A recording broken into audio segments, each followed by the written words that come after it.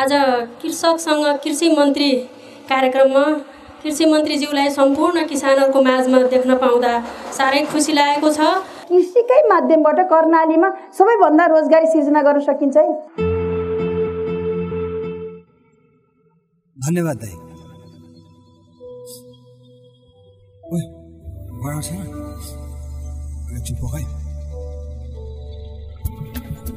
ओ साउजी। यो खाना बनाउन किन पुरानो तेल हालेको? आजसम्म कसैले केही भनेका छैनन् सबैले खाएकै छन्। तपाईँ किन धेर जान्ने? पक्नुहोस् जानुहोस् जानुहोस्। त्यो मिठा पसलले बुढासुरिन खाना बेचिरहेछ। मैले भनेको मिठाई पसल ऊ त्यहाँनिर हो। ए साउजी हामीहरू खाद्य प्रविधि तथा गुण नियन्त्रण विभागबाट आएका हौ। आम उपभोक्ताले यहाँको गुणस्तरमाथि जनगुनासो गर्ने गरेका छन्। यहाँ प्रयोग हुने तेल मिठाईमा प्रयोग हुने रङहरू के कस्तो अवस्थामा छ हामी परीक्षण गर्नेछौँ। तपाईँले गुणस्तरहीन तेल र अखाद्य रङ प्रयोग गर्नुभएको रहेछ। तपाईँ कारवाहीमा पर्नुभएको छ। तपाईँले पनि यस्तै गुणस्तरीन खाना देख्नुभयो भने तुरुन्तै खाद्य प्रविधि तथा गुण नियन्त्रण विभागमा सम्पर्क राख्नुहोला। नेपाल सरकार खाद्य प्रविधि तथा गुण नियन्त्रण विभाग।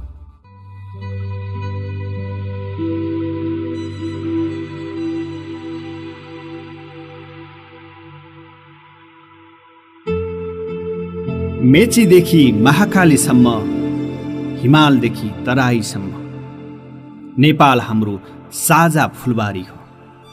मलाई गर्व छ नेपाली किसान प्रदेश एकदेखि प्रदेश सातसम्म मुस्ताङदेखि मर्चबारसम्म। नेपालमा कृषिमा औद्योगिकरण गर्न खाँचो छ। हामी किसान एक परिवार हौ। सुनौलो सपना साकार पार्दैछौँ कृषिमा क्रान्ति गर्दैछौँ। नेपाल किसानको काँधमा छ यो सरकार किसानको साथमा छ। महिला जुट के हम लोग आगे बढ़ागा खेती करा जाए कृषिमा आत्मनिर्भरता सरकारको जागरुकता।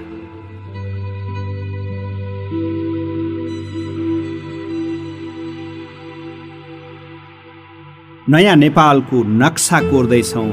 किसानसँग हातेमालो गर्दैछौँ। म महिला किसान हुँ। म किसान गर्नमा गर्व गर्छु। तरकारी बजारमा बिचौलियाको अन्त्य। धान उत्पादनमा दुई गुणा वृद्धि। मलखातको सहजता उखुको मूल्य निर्धारण गुणस्तरीय दुध उपभोक्तामा। नेपाल कृषिमा आत्मनिर्भर बन्न सक्छ। हामी सुखी र समृद्धि बन्न सक्छौँ। यो सब सम्भव भयो प्रधानमन्त्रीको निर्देशन।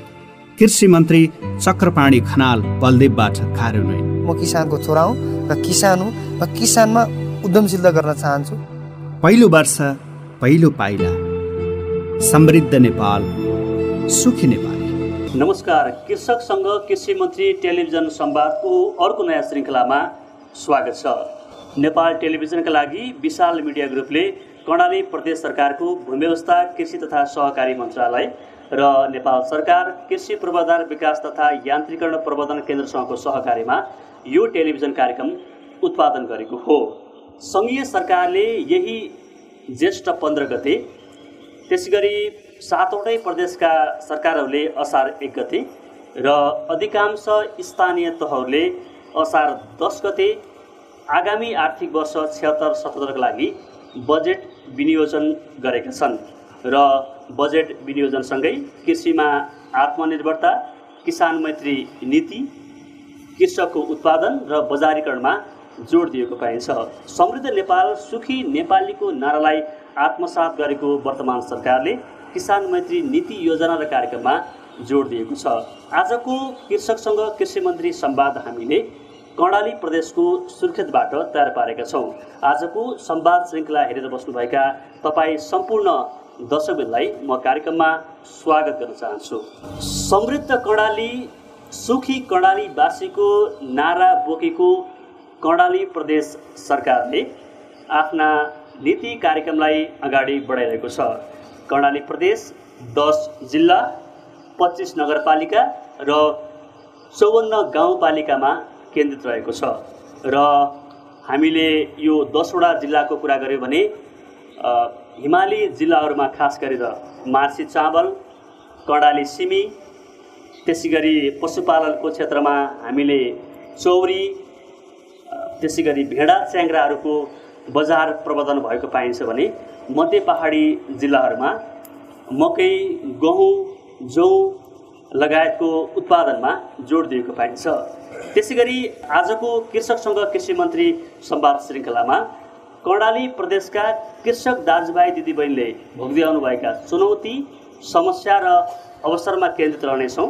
त्यसै गरी कर्णाली प्रदेशको भूमि व्यवस्था कृषि तथा सहकारी मन्त्रालयले चालु आर्थिक वर्षमा गरेका महत्त्वपूर्ण कार्यक्रमको विषयमा जानकारी गराउनेछौँ र आगामी आर्थिक वर्षका लागि विनियोजित किसान मैत्री बजेट नीति योजना र कार्यक्रममा पनि छलफल गर्नेछौँ। र आजको यो संवाद श्रृङ्खलामा हामीसँग कर्णाली प्रदेश भूमि व्यवस्था कृषि तथा सहकारी मन्त्रालयका माननीय मन्त्रीज्यू विमला केसीज्यू हुनुहुन्छ।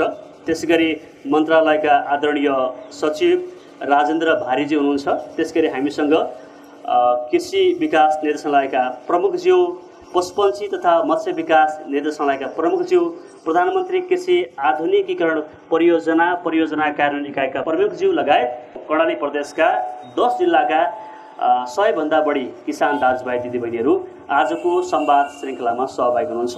म यहाँ सहभागी सम्पूर्ण किसान दाजुभाइ दिदीबहिनीलाई स्वागत गर्दै म कार्यक्रमको शुभारम्भ गर्ने अनुमति चाहन्छु। मन्त्रज्यू कार्यक्रममा स्वागत छ। धन्यवाद। म कार्यक्रमको सुरुवात मन्त्रीज्यूबाटै गर्न चाहन्छु। सङ्घीय सरकार नेपाल सरकारले समृद्ध नेपाल सुखी नेपालीको नारालाई आफ्नो परिकल्पनालाई सार्थक बनाउने प्रयत्न गरेको छ। र तपाईँहरूले कर्णाली प्रदेशलाई पनि समृद्ध कर्णाली सुखी कर्णालीवासीको नारालाई अगाडि बढाउनु भएको छ। र दुई हजार चौहत्तर साल फागुन तिन गते प्रदेश सरकार गठन भएको थियो। र झन्डै झन्डै सोह्र महिना हामीले यस बिचमा पार गरेका छौँ। तपाईँले भूमि व्यवस्था कृषि तथा सहकारी मन्त्रालयको नेतृत्व गर्दै गर्दा कर्णाली प्रदेश सरकारले परिकल्पना गरेको समृद्ध कर्णाली सुखी कर्णालीवासीको त्यो मनोभावनालाई कसरी सम्बोधन गर्न सक्नुहुन्छ या मन्त्रालयले कस्ता खालका कार्यक्रम अगाडि बढाएको छ यही प्रश्नबाट म आजको कार्यक्रमलाई शुभारम्भ गर्न चाहन्छु। धन्यवाद विशालजी। यहाँले हाम्रो मन्त्रालयको कृषि मन्त्रालयको विषयमा चालु वर्षमा सञ्चालन गरिएका कार्यक्रमहरूको प्रभावकारिताका सन्दर्भमा जुन जिज्ञासा राख्नुभएको छ र यो कुरालाई प्रष्ट पार्ने जुन खोज्ने अवसर दिनुभएको छ यसले हाम्रो आफ्नो एउटा समीक्षा गर्ने कुरा पनि हो। हामी सबै कृषकहरूसँगै बसेर सरकार र कृषकका बिचमा समीक्षा गर्ने एउटा राम्रो अवसर पनि हो। हामीले चालु वर्षको कुरा मात्रै होइन सरकार गठन भइसकेपछिको कुरा गर्दा चौहत्तर पचहत्तरको आर्थिक वर्षमा थोरै मात्रै ढाई महिना मात्रै बाँकी थियो। ढाई महिनाको बिचमा हामीले बजेट ल्याएका थियौँ। त्यो बजेट पनि अरू कुनै मन्त्रालयले यो प्रदेशमा बजेट कार्यान्वयन गर्न सक्ने अवस्था बनेन। तर हामीले सङ्घीय कृषि मन्त्रालयको सहयोग लिएर त्यसका कृषि मन्त्रालयका जिल्ला कृषि कार्यालयहरू जिल्ला भेटनरी अस्पतालहरूको सहयोग लिएर हामीले उहाँहरूको एउटा चिठी मतलब हामीले प्राप्त गऱ्यौँ। सहयोगको निम्ति चिठी अनुरोध गऱ्यौँ र चिठी प्राप्त गरिसकेपछि उहाँहरूको सहयोगमा हामीले चौसठी प्रतिशत बजेट त्यति बेला कार्यान्वयन गरेका थियौँ।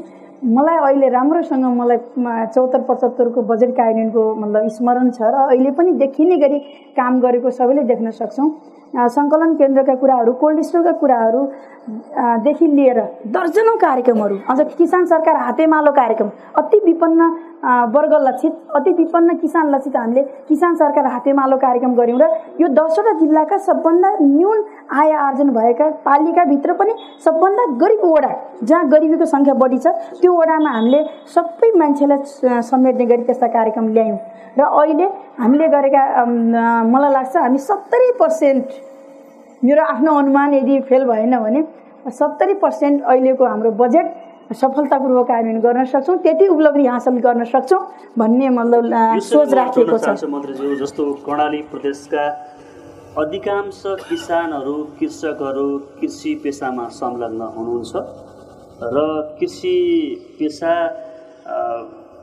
आत्मनिर्भरतातिर भन्दा पनि निर्वाहमुखी किसिमको देखिन्छ अहिलेको अवस्थालाई हेर्दा। तर यहाँका दाजुभाइ दिदीबहिनीहरू वैदेशिक रोजगारमा जाने भारततर्फ जाने या तपाईँको निर्वाहमुखी रूपमा गुजारामुखी तरिकाले आफ्ना कृषि पेसामा संलग्न भएको पाइन्छ। मन्त्रीज्यू यो कर्णाली प्रदेशको भूमि व्यवस्था कृषि तथा सहकारी मन्त्रालयको नेतृत्व गरेको पनि सोह्र महिना पुगेछ। यसबिचमा यो प्रदेशका किसानहरूका कस्ता कस्ता खालका समस्या रहेछन् र ती समस्यालाई दिगो रूपमा समाधानका लागि मन्त्रालयले के गरिरहेको छ? बिल्कुल यो कुरा एकदमै महत्त्वपूर्ण छ। हजुर। हामीले एउटा संश्लेषण सबैले सबै आम मान्छेले भाषण गर्ने विषय एउटा छ कि? कृषिमा व्यवसायीकरण यन्त्रीकरण आधुनिकरण का बजारीकरणका समस्या छ चारवटा समस्याको विश्लेषण सबैले यदा कता गरि नै रहन्छौँ। यो हाम्रो एउटा खालको मतलब संश्लेषणको प्रचलन पनि भइसकेको छ। यो कुरा समस्या हो नै हो म त्यसलाई समर्थन गर्छु। मैले थप समस्या कृषिमा देखेको हो भन्नुहुन्छ भने व्यवसायीकरण बजारीकरण यन्त्रीकरण आधुनिकरणका साथसाथै एउटा त्योभन्दा जटिल र मतलब गम्भीर समस्या के लाग्छ भन्नुहुन्छ भने कृषि क्षेत्रमा आज कृषि पेसामा काम गर्ने कृषकहरूलाई सम्मान गरिँदैन। कृषि पेसालाई मर्यादित बनाइएको छैन। कृषकलाई सम्मानित गरिँदैन। त्यो सबैभन्दा ठुलो चुनौती हो। त्यसमा सोच बदलौँ श्रमलाई सम्मान गर्ने संस्कार बचालौँ। त्यो ठुलो कुरा हो जस्तो लाग्छ कि मलाई। ती मतलब बजारीकरणको कुरा पछि छोडिदिउँ। व्यवसायीकरण कुरा पछि छोडौँ। एक नम्बरको समस्या भनेको कृषि क्षेत्रमा कृषि पेसालाई मर्यादित गराइएको छैन। कृषि पेसालाई मर्यादित गर्ने कृषकहरूलाई सम्मान गर्ने खालको वातावरण र सामाजिक हिसाबले कृषकलाई सम्मानित गर्ने खालको गराउनुपर्छ। मैले यो सँगसँगै अर्को कुरा के भने भन्नुहुन्छ भने व्यवसायीकरण त समस्या छँदैछ जे मतलब निर्वाहमुखी हाम्रो त्यहाँ प्रणाली छ यसलाई बदल्नै पर्छ व्यवसाय गर्नै पर्छ। त्यो सँगसँगै बजारीकरणको कुरालाई पनि सरकारलाई तिनवटै सरकारले कृषकले उत्पादन गरेको वस्तुको बजारको सुनिश्चित नगर्ने हो भने कृषक उत्साहित हुँदैन। त्यसैले कृषक उत्साहित हुने हो भने बजारीकरणको ग्यारेन्टी तिनवटै सरकारले मिलेर त्यो पनि हामीले समन्वय गरेर सहज कर्ताको भूमिका खेलेर सहकारी मार्फत हो कि निजी क्षेत्र मार्फत हो कि सरकार आफैले गर्ने हो कि तिनवटै सरकार मिलेर बजारीकरणको ग्यारेन्टी गर्ने हो भने त्यसै व्यवसायीकरण हुन्छ त्यसै कृषकहरू उत्साहित हुन्छ त्यसै आधुनिकरण र यान्त्रिकरण कुरा त सँगसँगै हल हुने कुरा त्यति ठुलो कुरा हो जस्तो मलाई लाग्दैन। म मन्त्रीज्यूसँग फेरि आउँछु। हामी कृषक दाजुभाइ दिदीबहिनीका समस्या गुनासा र अप्ठ्याराका विषयमै छलफल केन्द्रित गरेका छौँ। अब म यो किसान दाजुभाइ दिदीबहिनीका समस्याकै विषयमा उहाँहरूबाटै प्रश्न जिज्ञासाको अपेक्षा गर्छु। कृषक दाजुभाइ दिदीबहिनीलाई उठेर आफ्नो परिचयसहित आफ्नो संक्षिप्त रूपमा प्रश्न जिज्ञासा राखिदिनको लागि म आग्रह गर्न चाहन्छु। मेरो नवीन खड्का। कतिपय जग्गाहरू बाँझोमुखी पनि हुने र हामीले उत्पादन गरेका जुन वस्तुभावहरूको सही ढङ्गले मूल्य निर्धारण बजार क्षेत्रमा मूल्य निर्धारण नहुनु त्यसमा बजारसम्म जाँदा पनि बिचमा धेरै सङ्कटहरू आउने र हाम्रो जुन आम्दानीबाट अर्को नै मोटाउनु पर्ने एउटा प्रवृत्ति देखिएको छ। यो कहिलेसम्म अन्त्य हुने हो? हस् तपाईँलाई धेरै धेरै धन्यवाद दिन चाहन्छु। म अब अर्को कुनै सहभागीको प्रश्न जिज्ञासा लिन्छु। मेरो नाम देवीराम तिवारी हरिपूर्ण अर्ग्यानिक तरकारी बाली उत्पादन केन्द्र भनेर अनुदान पाउने क्रममा मेरो नरानै भएको छैन म पहिल्यै सुरुमा आएको यो थोरै यो बत्तिस हजार मेरो लागि बत्तिस लाख। म अब चाहिँ सरकारबाट अनुदान पाउने जगमा टेकेँ। त्यस कारणले म भाग्यमानी छु भन्ने मान्छे। तर यो बत्तिस हजार दिनको लागि मैले लगभग सत्र हजार खर्च गरिसकेको छु। छविलाल आचार्य लेक बेसी नौ चौरासी। यो किसान कृष कृषकसँग कृषि मन्त्रीसँग आज भेट हुन पाउँदा एकदम खुसी लागेको छ। हामीले कृषि निर्देशनालयबाट मिनी टेलरहरू अनुदानमा पाएका छौँ। हामीले अनुदान त पाउने फिफ्टी पर्सेन्ट अब त्यो मिनी टेलरमा तेल कहाँ हाल्ने भन्ने किसानलाई थाहा छैन। कता हाल्ने? जोत्ने कसरी? अब यो अनुदान कृषिमा यन्त्रीकरण गर्दैछौँ। किसानलाई चाहिँ मिनी टेलर स्टार्ट गर्नै आउँदैन। त्यो तेल कहाँ हाल्ने भन्ने थाहै छैन। यस्तो विषयमा अलिकति अनुदान दिनुभन्दा अगाडि किसानलाई केही कुराहरू आधारभूत कुराहरू सिकाउने पनि कुराहरू हाम्रो यो प्रदेश सरकारले विनियोजन गरेका छ कि छैन त्यस्तो किसिममा बजेट? युवाहरूलाई सिकाउने कुरामा गरेका छ कि छैन? यसको उत्तर पाउन पाए चाहिँ खुसी लाग्थ्यो। जागरण थारू हो। म स्पेसल कृषक हो। किसानलाई तिन चिज चाहिन्छ। पहिलो प्रथम जल त्यसपछि जमिन त्यसपछि स्वच्छ बिउ बिजल त्यसको व्यवस्था के भइरहेको छ? यहाँ किसानहरूले चाहेको कुरो के छ भनेपछि व्यवसायीमूलकको कृषि प्रधान हुनु पर्यो। पञ्चकला रावत म जिल्ला कृषि सहकारी सङ्घको अध्यक्ष। आज कृषकसँग कृषि मन्त्री कार्यक्रममा कृषि मन्त्रीज्यूलाई सम्पूर्ण किसानहरूको माझमा देख्न पाउँदा साह्रै खुसी लागेको छ र मैले समग्रमा किसानहरूका थुप्रै समस्याहरू छन् जो अगाडि पनि आइसकेका छन् र केही समस्याहरू राख्न चाहन्छु नआएका कुराहरू। र आज असाढको एघार गते हुँदै गर्दा किसानहरूले हातमा थैला बोकेर मल लिनको लागि बिउ लिनको लागि बजार बजार धाइरहनु परेको छ र उहाँहरूले न त गुणस्तरीय बिउ पाउनु भएको छ न त मल पाउनु भएको छ।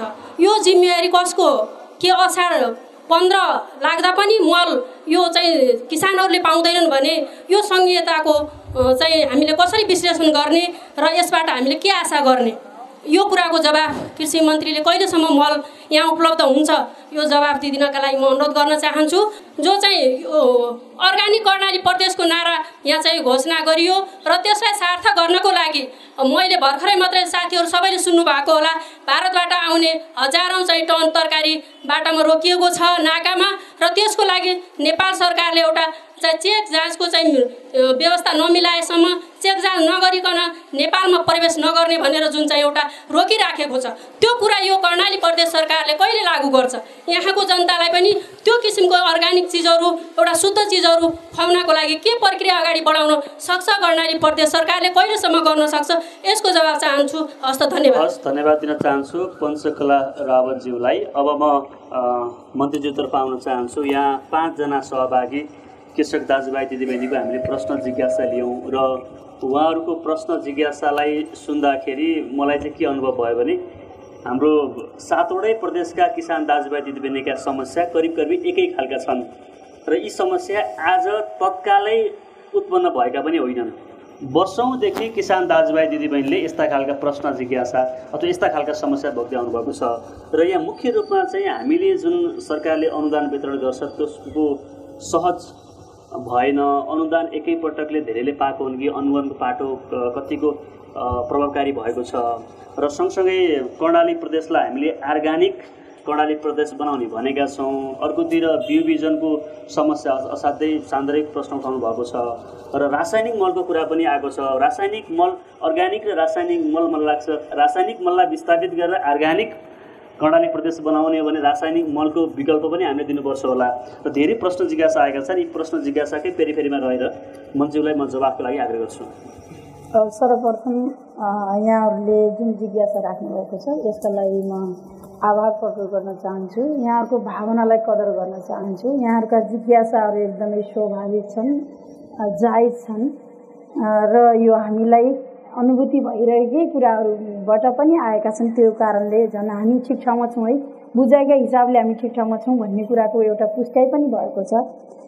पहिलो कुरा यहाँहरूको महत्त्वपूर्ण सरकारको विषय भनेको खास कृषकले अनुदान नपाउने केहीले दोहोऱ्याइ पाउनु पाउने त्यो अनुदान पनि लिने विधि एकदम झन्झटिलो बत्तिस हजार लिन सत्र हजार खर्च गरिसकेँ भन्नुभयो हरिपूर्ण बुवाले होइन? एउटा सानो नमुनाको कुरा हो त्यो एउटा हाम्रो टिपिकल त्यो उदाहरणको कुरा हो। यो सबै कुराले गर्दाखेरि हाम्रो कृषि क्षेत्रको इतिहास हेर्दाखेरि कृषि साँच्चै कृषकलाई कृषिको अनुदान गएन भन्ने कुराको संश्लेषण सङ्घीय सरकारले पनि गरेको छ। यस्तै कार्यक्रम यो चालु वर्षमा पनि किसान सरकार हातेमालो कार्यक्रमको मोडालिटी नै त्यही हो? त्यसलाई हामी विस्तार गर्दैछौँ। त्यसरी समस्या समाधान गर्छौँ। अब अनुदान व्यवसाय कृषकले पाउँदैनन् यसपालि हाम्रो हामीले फरक मोडालिटीमा गयौँ। यो मलाई लाग्छ यो देशभरिमै यो नयाँ खालको होला। तपाईँले नै यो खालको नयाँ खालको अनुभूति गर्नुहुन्छ होला। अब व्यवसाय कृषकका निम्ति सफ्ट लोनको व्यवस्था गर्छौँ। प्रदेश सरकारले नै सफ्ट लोनको व्यवस्था गर्छौँ। ब्याजमा अनुदानको व्यवस्था गर्छौँ। व्यवसाय कृषकका लागि प्रोत्साहन अनुदानको व्यवस्था गर्छौँ।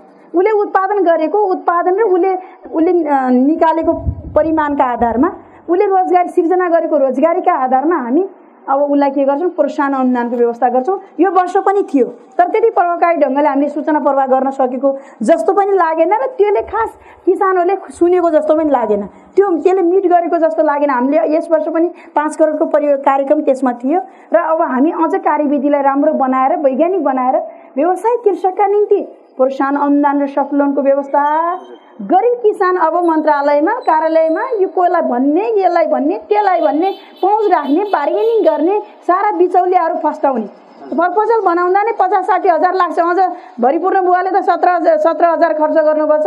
मान्छेले सत्तरी हजार खर्च गऱ्यौँ एक लाख खर्च गऱ्यौँ हामीले कार्यक्रम पाएनौँ मन्त्रीज्यू भन्ने मान्छेहरू पनि त हामी कहाँ आइरहेछन्? त्यो हिसाबले अब त्यो नै हटाउने हामीले विधि बनायौँ भने यो समस्याको समाधान हुन्छ। म योसँगै जोडेर भन्न चाहन्छु जस्तो सफ्ट लोनको मन्जुरीले कुरा गरिसक्नुभयो सङ्घीय सरकारले पनि उद्यमीहरूका लागि ब्याज अनुदान कार्यविधि ल्याएको छ र विभिन्न वाणिज्य ब्याङ्कहरूबाट पाँच पर्सेन्ट अनुदानमा वितरण गर्ने उद्यमीको हेरेर भन्ने छ। र एउटा देशभरका किसानहरूमध्ये आउने एउटा समस्या के भने भन्छु त्यो किसान दाजुभाइ दिदीबहिनीले जुन उत्पादन गर्नुहुन्छ त्यसको बिमाको समस्या हुने र उहाँहरूको खेतबारीको उत्पादन या खेती किसान गर्ने तपाईँको जग्गा जमिनलाई चाहिँ ब्याङ्कले धितोको रूपमा स्वीकार नगर्ने अथवा स्वीकार गर्न नखोज्ने त्यस्तो कन्डिसनमा चाहिँ हामी सफ्ट लोनको व्यवस्था गर्दा या अनुदानको कार्यक्रम अथवा चाहिँ ब्याज अनुदानको कुरा गर्दा त्यसले कतिको कर्णालीवासीका कृषक दाजुभाइ दिदीबहिनीहरू लाभान्वित हुनुहोला? अब त्यो निकै चुनौती छ। अब विगतमा पनि त्यो देखियो होला अब पनि हाम्रो झन् यो कर्णालीमा बढी सुर्खेतमा झन् बढी समस्या हुनेवाला छ। यहाँ हामीसँग ऐलानी जग्गा मात्रै छन्। दर्तवाल जग्गा छैन लालपुर्जा मान्छेहरूले प्रायःले पाएको छैन त्यो समस्या हुनसक्छ। त्यो समस्या नहुने गरी हामीले कार्यविधि बनाउनुपर्छ उहाँहरूको जग्गालाई मात्रै नगरेर एउटा कुरा त सहर हामी रोडको जग्गालाई मात्रै मान्यता व्यवस्था मन्त्रालय पनि मन्त्रीज्यूसँगै छ त्यसो भए यो ऐलान जग्गाको व्यवस्थापनको पाठ पनि अगाडि बढ्छ। अब त्यो बढ्ने त हो चाहना थियो तर हामीलाई अहिले यो व्यवस्थापन संवैधानिक हिसाबले दिइएको छ। व्यवहारिक हिसाबले हामीले केही पनि अधिकार नपाएको कारणले हामीले यही वर्षमा सक्ने जो उद्देश्य राखेर केही अँ, कल्प मतलब परियोजना मतलब उद्देश्य राखेका थियौँ त्यो पुरा गर्न सकेका छैनौँ। हामी जोड्छौँ। जे होस् यो समस्यालाई समाधान गर्छौँ। कतिपय त सर्टिफिकेटका आधारमा युवाहरूले अगाडि भन्नु भने युवाहरू आकर्षित छैन। त्यसैले युवाहरू आकर्षित गर्ने पनि हामीले कार्यक्रम ल्याएका छौँ। रसायनिक मल पुरै बन्द गर्न पनि भएको छैन विकल्प पनि चाहियो। एकैचोटि हुने कुरा पनि रहेनछ। त्यसै हिसाबले हामीले रसायन मलमा अनुदान पनि दिन नमिल्ने रोक्न पनि नमिल्ने बिचको एकदम अप्ठ्यारो स्थितिमा छौँ। तर हामी कर्मश अब वैकल्पिक व्यवस्था गरेर रसायनलाई एकदमै निषेधित गर्ने त अहिले नभए पनि न्यूनीकरण गर्दै अर्ग्यानिक मल उत्पादनमा जस्तो प्राङ्गारिक मल उत्पादनको युजलाई हामी प्राथमिकता दिन्छौँ र यो वर्ष त्यही हिसाबले कार्यक्रम लिएका छौँ। हस् धन्यवाद मन्त्रीज्यू अब म किसान दाजुभाइ दिदीबहिनीको बिचमा जानुभन्दा अगाडि हामीसँग भूमि व्यवस्था कृषि तथा सहकारी मन्त्रालयका आदरणीय सचिव राजेन्द्र भारीजी हुनुहुन्छ। आगामी आर्थिक वर्ष छिहत्तर सतहत्तरका लागि भूमि व्यवस्था कृषि तथा सहकारी मन्त्रालयले कस्ता खालका कार्यक्रमहरू बजेट तय गरेको छ र चालु आर्थिक वर्षमा के कस्ता महत्त्वपूर्ण काम भए म त्यसको जिज्ञासा मेट्न चाहन्छु। आदरणीय सचिव राजेन्द्र भारीजीबाट। धन्यवाद। यो वर्षको केही समीक्षात्मक प्रस्तुति हाम्रो मान्य मन्त्रीज्यूबाट प्रस्तुत भइसक्यो। र करिब करिब हामीले यो वर्ष दुई अरब अन्ठाउन्न करोडको बजेट थियो र करिब करिब हामी भौतिक रूपमा चाहिँ सत्तरी प्रतिशत जति हामी चाहिँ कार्य गर्न सक्छौँ र आर्थिक रूपमा वित्तीय रूपमा चाहिँ हामी पचास प्रतिशतभन्दा बढी नै आर्थिक प्रगति चाहिँ हामीले गर्न सक्ने सम्भावना छ। र बढी जसो हाम्रो नेपाल सरकार अथवा हाम्रो चाहिँ प्रान्तीय सरकारको पनि यो खर्च गर्ने जुन एउटा क्षमता छ त्यो पनि कमी नै छ। र बढी हामी तृतीय चौमासिक र बढी अझ त्यसमा पनि असार महिनामा चाहिँ बढी खर्च गर्ने जुन हाम्रो राष्ट्रिय प्रवृत्ति नै छ। त्यो चाहिँ अब यो प्रदेशमा पनि लागु नै भइरहेछ। र तथापि हामीले चाहिँ धेरै जस्तै कृषिका सिँचाइका कार्यक्रमहरू कृषि सडक कार्यक्रमहरू त्यस्तै गरेर चाहिँ यो व्यावसायिक कृषकलाई प्रोत्साहन कार्यक्रमहरू अर्ग्यानिकमा जाने हाम्रो चाहिँ नगरपालिका गाउँपालिकालाई चाहिँ प्रोत्साहन गर्ने कार्यक्रमहरू। त्यस्तै गरी मुख्यमन्त्री उत्कृष्ट पुरस्कार अ, का चाहिँ जुन एउटा कृषक कृषि पेसालाई मर्यादित गराउने कार्यक्रमहरू र यी सबै चाहिँ सम्पन्न हुँदैछ र हुन्छन् र आगामी सालमा हामीले यसै यो यो विगत चौहत्तर पचहत्तरको दुई महिनाको अनुभव र यो पचहत्तर छिहत्तर आर्थिक वर्षको यो एक वर्षको अनुभवलाई लिएर हामीले पनि सिक्दैछौँ। र यो किनभने अब सङ्घीय सरकार पनि पहिला एकात्मक रूपमा चाहिँ चलिरहेको थियो। त्यस्तै गरेर स्थानीय सरकार पनि एक हिसाबले चलिरहेको थियो र यो प्रदेश सरकारको एउटा नयाँ अनुभव र सबै चिज सबै नयाँ अनुभव र हामीलाई सीमितता पनि थियो। खास गरेर जनशक्तिमा। हाम्रो चाहिँ कर्णाली प्रदेशमा जुन एउटा समायोजनको कुरो छ धेरैले नरोज्ने। एकदमै कम कम कर्मचारीहरूले चाहिँ रोज्नु भएको छ। टोटल हाम्रो चार सय छ हाम्रो चाहिँ दरबन्दीमा करिब चालिस प्रतिशत मात्रै पूर्ति छ। त्यस कारणले पनि हामीले कार्यक्रम कार्यान्वयनमा थोरै समस्या परेको छ। यति हुँदाहुँदै पनि हामीले चाहिँ आगामी वर्ष चाहिँ नयाँ नीति नयाँ अब चाहिँ जुन एउटा अनुदानको कुराहरू भए मान्य मन्त्रीजीले जुन भन्नुभयो कि अब हामी चाहिँ गरिब लक्षित र गरिबकोमा चाहिँ सरकार जाने र कृषक व्या व्यावसायिक कृषकलाई चाहिँ ब्याजमा चाहिँ जोड्ने र यो चाहिँ ब्याङ्कसँग जोड्ने भन्ने चाहिँ मूल मन्त्र। र त्यसपछि कृषकलाई चाहिँ मर्यादा कृषि पेसालाई चाहिँ मर्यादा बनाउनको लागि चाहिँ हाम्रो चाहिँ मेरो कृषक मेरो अन्नदाता नाराका साथ र व्यावसायिककरण गर्ने र मूल्य श्रृङ्खलामा आधारित रहेर एकदमै फोकस जस्तै मध्य पहाडी क्षेत्रमा चाहिँ डेरी भयो खसी बोका तरकारी अब यो सुन्तला कागती र उच्च पहाडमा चाहिँ हाम्रो फोकस प्रोग्रामहरू खास गरेर रैथाने बालीहरू अ, मा चाहिँ प्रोग्रामहरू र खास गरेर फलफुलमा चाहिँ स्याउ अ, ओखरमा चाहिँ एकदमै फोकस सबै धेरै हाम्रो चाहिँ नीति तथा कार्यक्रममा चाहिँ धेरै बाली वस्तुहरूको चाहिँ लिस्ट आए तापनि हामीले चाहिँ त्यसलाई चाहिँ छनौट गरेर मूल्य श्रृङ्खला प्र पद पद्धतिमा यो उत्पादन सामग्रीदेखि चाहिँ बजारसँग जोड्ने र अनि खास गरेर चाहिँ हाम्रो चाहिँ बढी फोकस चाहिँ सिँचाइ यो चाहिँ कृषकहरूलाई चाहिँ सिँचाइका प्रोग्रामहरू चाहिँ अनि उत्पादन क्षेत्रलाई चाहिँ बजारसँग जोड्नलाई कृषि सडक त्यसै गरेर चाहिँ हामीले सामुदायिक बिउ ब्याङ्कहरूका कुराहरू छन् र अनि चाहिँ त्यसपछि गएर हाम्रो चाहिँ खास गरेर चाहिँ बजारी अ, करणमा चाहिँ चिसान केन्द्रका कुराहरू छन् पशु वधस्थल वधशाला अ, का कुराहरू अनि त्यसपछि दुध सङ्कलन केन्द्र सङ्कलन केन्द्र बजार केन्द्रहरूलाई चाहिँ बढी चाहिँ हाम्रो चाहिँ यो संरचना संरचनामा चाहिँ हाम्रो चाहिँ फोकस हुनेछ अनि हामीले चाहिँ प्रस्ताव गरेको सबै हामीले चाहिँ दसैँ जिल्लामा अन्तर्क्रिया गरेर नीति तथा कार्यक्रमको हामीले फिडब्याक पनि लियौँ। लि लिइसकेपछि चाहिँ हामीले चाहिँ करिब छ अरबको चाहिँ हामी चाहिँ प्रस्ताव आयो हाम्रो। तर चाहिँ अब हाम्रो चाहिँ कर्णाली प्रदेश सरकारको बजेटको सीमितताले गर्दाखेरि हामीले करिब करिब दुई अरब पचहत्तर करोड पाएका छौँ र यसैलाई चाहिँ हामीले चाहिँ भएको जनशक्ति उपलब्ध भएको चाहिँ सीमित स्रोत साधन र स्रोतबाट चाहिँ हामी बढी से बढी अ, आशाभित रूपमा चाहिँ हामीले उपलब्धि हासिल गर्ने आशामा छौँ हस् धेरै धेरै धन्यवाद दिन चाहन्छु सचिवज्यूलाई अब म अ, सहभागीको प्रश्न जिज्ञासा लिन चाहन्छु मेरो नाम श्यामपुरी मेरो यो बिनपा टिममा श्याम कृषि फार्म गरेर बसिरहेको छु मन्त्रीज्यू अ, अहिले हाम्रो राष्ट्रले जुन किसानप्रति सहुलियत दरको लोन भनेर जुन व्यवस्था गरेको छ त्यो व्यवस्था बैङ्कहरूबाट सहजै रूपमा किसानले पाउन एकदमै गाह्रो भएको अवस्था छ र हरेक महिना तिन महिना चार महिना धाउँदा पनि त्यो त्यो किसान लोन चाहिँ पाएको अवस्था छैन। धेरै किसान दाजुभाइहरू यहाँ हुनुहुन्छ र कतिपय दाजुभाइहरूले लोन हुन्छ भन्ने भरमा राष्ट्रिय वाणिज्य ब्याङ्कमा साढे तिन पर्सेन्ट पर्समा धितो राखेर पनि लोन नपाएको अवस्था यहाँ मन्त्रीज्यूलाई राख्न चाहन्छु। धेरै धेरै धन्यवाद दिन चाहन्छु। एकजनाले। हात भएको छ। म उहाँको प्रश्न जिज्ञासा नमस्कार मेरो नाम कपिल अधिकारी। विन्ध्यावासिनी कृषि तथा पशु पालन समूह दर्ता गरेर मैले व्यवसाय सुरु गर्ने सोचका साथ मैले एउटा जब गर्थेँ पहिले। अब सामान्य जबमा रहेर भन्दा पनि हामीले दुई चारजना मान्छेहरूलाई एउटा रोजगारी दिएर एउटा व्यवसाय गर्न सकिन्छ भन्ने सोचका साथ मैले आफूले गर्ने गरिराखेको रोजगारी छोडेर यहाँ सुर्खेतमा आएँ। घर मेरो दैलेको म काठमाडौँमा जब गर्थेँ त्यसपछि म सुर्खेत आएँ। सुर्खेत आइसकेपछि मैले व्यवसाय दर्ता गरेँ। धितो कि मैले दैलेखको जग्गा राखेर धितो धितो राखेर यहाँबाट लोन पाउने कि कि यहीँ मैले अट्ठाइस कट्टा जग्गा लगेर अट्ठाइस कट्टा जग्गा एग्रिमेन्ट गरेर मैले लगाएको छु। त्यो लिएर व्यवसाय सञ्चालन गरेको छु। त्यो जग्गा राखेर लिने। व्यवसाय गर्छु भनेर एउटा आँट बनाएर हिँडिसकेको युवाले बिचमा धेरै खालका झन्झटहरू बेहोर्न पर्ने समस्याहरू छन् क्या यो झन्झटिको लोलाई मन्त्रालयले कसरी हेर्छ? हामीले व्यावसायिक रूपमा गर्दाखेरि राज्यले पनि केही सोचोस् होइन? धेरै कुराहरू आइसकेका छन्। त्यसैले दिन चाहन्छु। सबैभन्दा पहिला हाम्रो विजय गिरी सरलाई मेरो आफ्नो एउटा जिज्ञासा राख्न चाहन्छु। प्रधानमन्त्री कृषि आधुनिकरण परियोजना अन्तर्गत हामी जस्ता शिक्षित युवालाई देशभित्रै स्वरोजगार मुख्य कार्यक्रम गर्नका लागि के कस्ता योजनाहरू छन् मन्त्रीज्यूलाई मेरो प्रश्न यस प्रकार छ। यस कर्णाली प्रदेशलाई अर्ग्यानिक कर्णाली प्रदेशको रूपमा विकास गर्ने लक्ष्य र कार्यनीति प्रदेश सरकारले लिइरहँदा कर्णाली प्रदेशमा हाल प्रयोग भइरहेको रासायनिक विधा विषादी रासायनिक मल र रासायनिक तरकारीको सम्बन्धमा अबको वैकल्पिक मार्ग के हुन्छ यसको बारेमा प्रश्न पारिदिनु होला।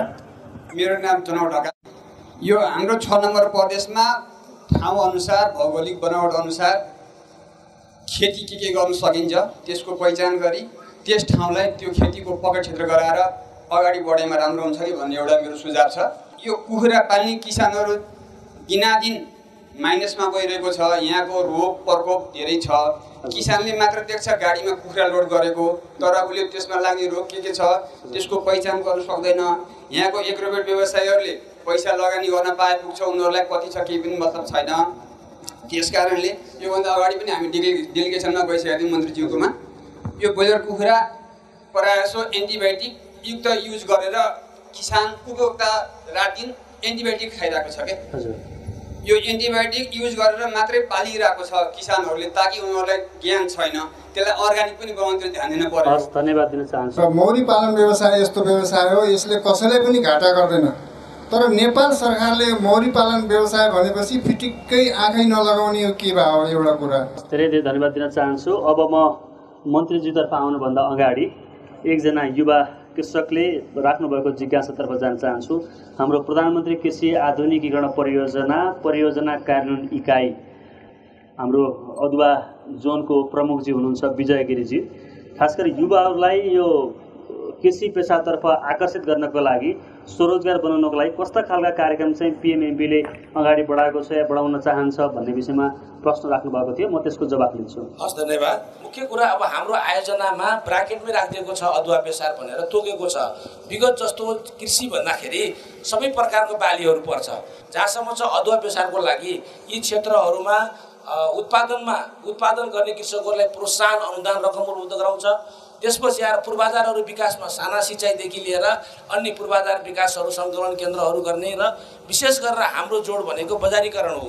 र विशेष गरेर चाहिँ त्यसको उत्पादन प्रशोधन बजारीकरण र हाम्रो थोरै परिमाणमा भएको अदुवा बेसार बाहिर जान सक्दैन।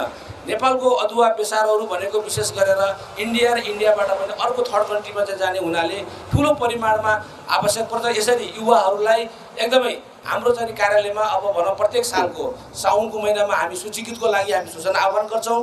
त्यही सूचना आह्वान भए बमोजिम यहाँहरू सूचना सूचीकृत हुनुभयो भनेपछि अवश्य पनि कार्यालयको कार्यक्रम अनुसार हामी सहयोग गर्ने हस् धन्यवाद दिन चाहन्छु। अब म भूमि व्यवस्था कृषि र सहकारी मन्त्रालयको सचिवजीतर्फ जान चाहन्छु। खास गरेर हामीले कर्णाली प्रदेशलाई अर्ग्यानिक प्रदेश बनाउने भनेका छौँ। अब जैविक किसिमका मलहरूको उत्पादनको प्रक्रियालाई कसरी अगाडि बढाएको छ कसरी हेरेको छ मन्त्रालयले भन्ने कुरा आएको छ। म त्यसको जवाब लिन्छु सचिवजीबाट हजुर हाम्रो चाहिँ भारतबाट आउने विषादीयुक्त त्यहीँबाट चाहिँ प्रथम प्रथम चरणमै स्क्रिनिङ हुन्छ। त्यो नै अब किनभने धेरै जसो चाहिँ हाम्रो चाहिँ त्यही नाकाबाट आउँछ। त्यस कारणले यो एउटा चाहिँ अवसरको रूपमा यहाँहरूले चाहिँ लिनुहोला। र यसले चाहिँ हाम्रो कृषि खास गरी चाहिँ प्राङ्गारिक कृषिलाई चाहिँ बढावा दिन्छ र हाम्रो सरकारको तर्फबाट पनि यही वर्षबाट चाहिँ हामीले चाहिँ सुर्खेतको हर्रेमा हामीले चाहिँ एउटा द्रुत यो चाहिँ के अरे विषादी परीक्षण प्रयोगशाला स्थापना गर्दै छौँ। र खास गरी रासायनिक मलको विस्थापन गर्ने चाहिँ हाम्रो रणनीति नै छ र यसको कोटा पनि यस यसमा यो प्रदेशमा कम गर्दै जाने।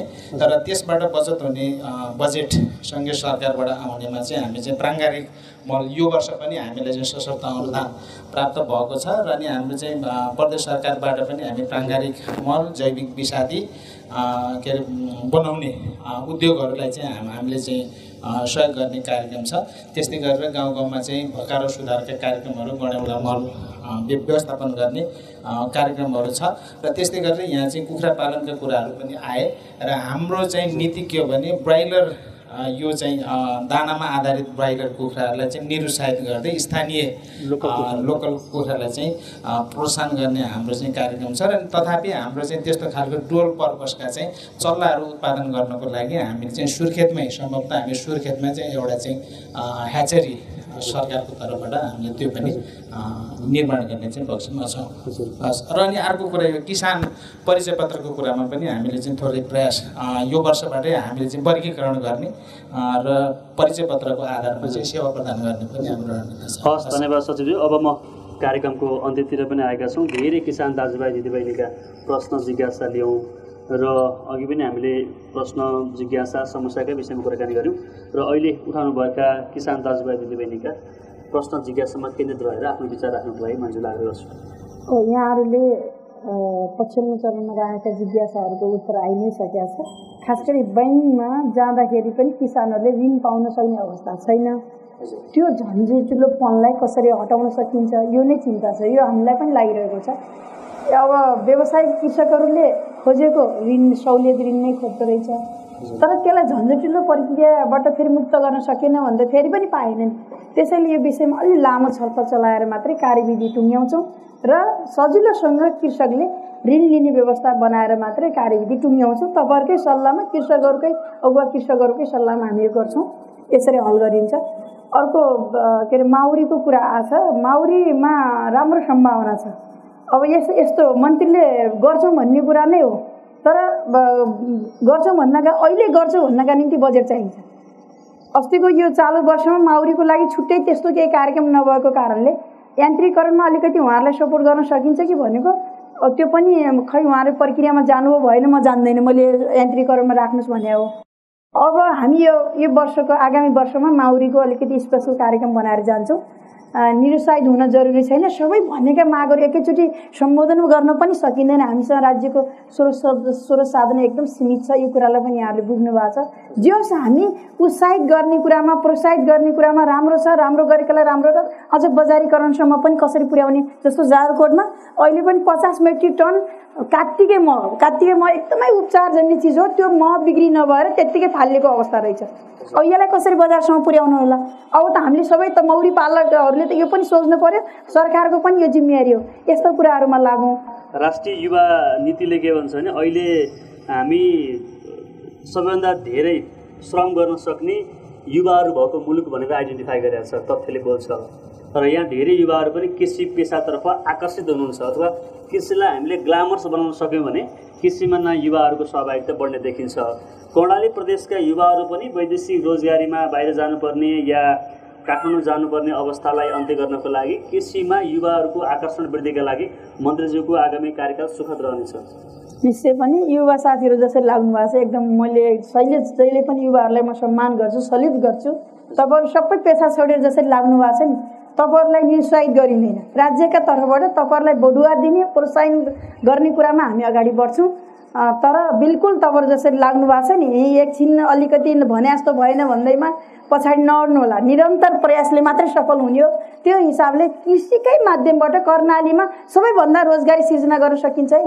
आत्मनिर्भर गराउन सकिन्छ है भन्ने कुराको निष्कर्ष प्रदेश सरकारको छ। त्यो सँगसँगै उद्योगको क्षेत्र र पर्यटनका क्षेत्रबाट आर्थिक विकास गर्न सकिन्छ। आर्थिक विकासका महत्त्वपूर्ण पक्ष भनेको कृषि मतलब उद्योग र पर्यटन नै हो हाम्रो। हामी एकताबद्ध हौँ र कर्णालीलाई कर्णालीको मुहार फेरेर मात्रै देशको समृद्ध गर्न सकिन्छ। नेपाललाई सुखी बनाउन सकिन्छ। कर्णाली दुखी भनेर नेपाल सुखी हुन सक्दैन। त्यसैले कर्णालीको दुःखलाई बदलौँ अनि मात्रै नेपाल सुखी हुन सक्छ भन्ने कुरा मैले भन्न चाहेँ। यहाँलाई पनि धेरै धेरै धन्यवाद। र यो टेलिभिजन हेर्नुभएका र यो कार्यक्रममा आउनुभएका सम्पूर्ण उद्यमी साथीहरूलाई कर्मचारी साथीहरू सबैलाई म धन्यवाद दिन चाहन्छु आभार व्यक्त गर्न चाहन्छु। धन्यवाद। आजको कृषकसँग कृषि मन्त्री संवाद श्रृङ्खला हामीले कर्णाली प्रदेशबाट तयार गऱ्यौँ आजको संवाद श्रृङ्खलामा हामीले कर्णाली प्रदेशका दस जिल्लामा रहेका किसान दाजुभाइ दिदीबहिनीले भोग्दै आएका समस्या चुनौती त्यसै गरी चालु आर्थिक वर्षमा सरकारले गरेका महत्त्वपूर्ण कामहरू र आगामी आर्थिक वर्ष छत्तर सतहत्तरमा सरकारले अथवा यो कर्णाली प्रदेशको भूमि व्यवस्था कृषि तथा सहकारी मन्त्रालयले किसानका लागि कस्ता खालका कार्यक्रम योजना र बजेट तय गरेको छ यिनै विषयमा छलफल गऱ्यौँ आजको संवाद श्रृङ्खला तपाईँलाई कस्तो लाग्यो? सल्लाह सुझाव र प्रतिक्रियाका लागि स्क्रिनमा देखिएको इमेल र फोनमा प्रतिक्रिया दिन सक्नुहुन्छ। तपाईँ यो कार्यक्रम फेसबुक ट्विटर युट्युब र इन्स्टाग्राममा विशाल मिडिया ग्रुप टाइप गरी खोज्न र हेर्न सक्नुहुन्छ। आजको संवाद श्रृङ्खलामा हामीसँग कर्णाली प्रदेश सरकारका भूमि व्यवस्था कृषि तथा सहकारी मन्त्री र कर्णाली प्रदेशकै प्रदेश सरकारकै प्रवक्ता समेत रहनुभएका माननीय विमला केसीजी हुनुहुन्थ्यो। त्यस गरी भूमि व्यवस्था कृषि तथा सहकारी मन्त्रालयका आदरणीय सचिव राजेन्द्र भारेज्यू लगायत सयभन्दा बढी किसान दाजुभाइ दिदीबहिनीहरू आजको संवाद श्रृङ्खलामा सहभागी हुनुहुन्थ्यो। आजको संवाद श्रृङ्खला यति नै। अर्को हप्ता अर्को कुनै प्रदेशबाट कृषकसँग कृषि मन्त्री टेलिभिजन संवाद ल्याउने बाचा गर्दै आजको श्रृङ्खलाबाट म कार्यक्रम प्रस्तुता विशाल गैरे पनि बिदा चाहन्छु। तपाईँको यो साता शुभ रहोस्। नमस्कार।